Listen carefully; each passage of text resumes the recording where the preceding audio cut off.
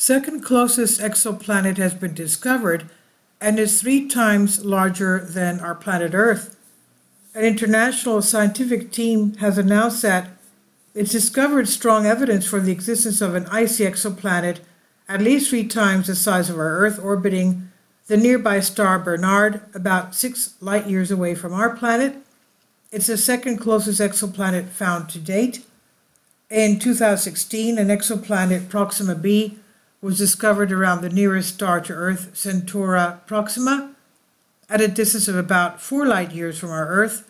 After the discovery of the new exoplanet, a total of four planetary systems have been found at a distance of up to 10 light years from our solar system, and 14 planetary systems at a distance of up to 15 light years away.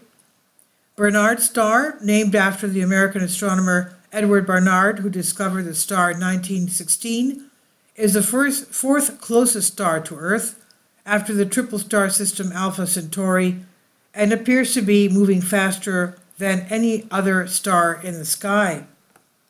It's a red dwarf star which appears in the constellation Ophiuchus.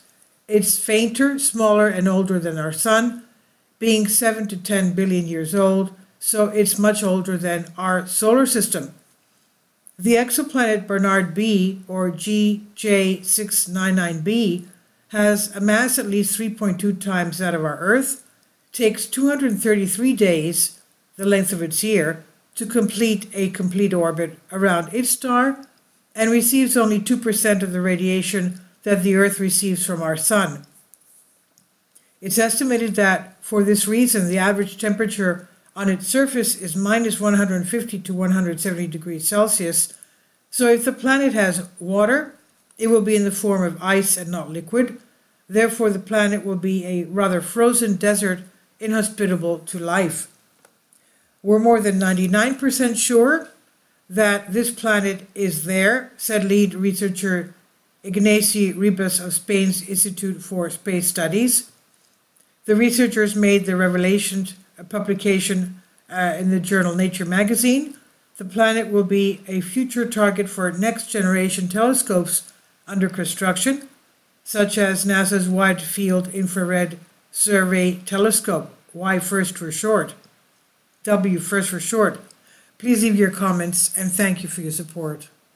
Please support my Patreon account. The daily posts are five videos daily, and they are totally different from what I have on my YouTube channel. Thank you so much for your support and that you find all my content so interesting. You'll find the Patreon account details in the description box below.